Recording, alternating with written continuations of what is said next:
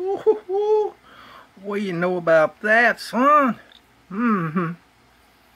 That was, good lord, that was good. Made on farm good. Gonna make me some uh, milk chocolate tonight.